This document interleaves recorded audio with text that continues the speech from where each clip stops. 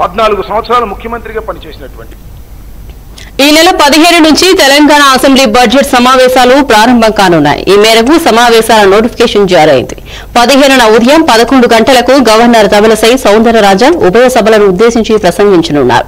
ఇటీవల మరణించిన TRS MLA నోముల నరసింహయ్య మాజీ ఎమ్మెల్యేలు ఎమ్మెల్సీలకు పదహారున సంతాపం ప్రకటిస్తారు.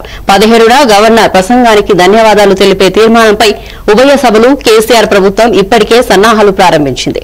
పద్దెనిమిదిన ఉదయం పదకొండు గంటల ముప్పై నిమిషాలకు తెలంగాణ రెండు వేల ఇరవై ఒకటి ఇరవై రెండు వార్షిక బడ్జెట్ను ఆర్థిక శాఖ మంత్రి హరీష్ రావు అసెంబ్లీలో ప్రవేశపెట్టే అవకాశం ఉంది.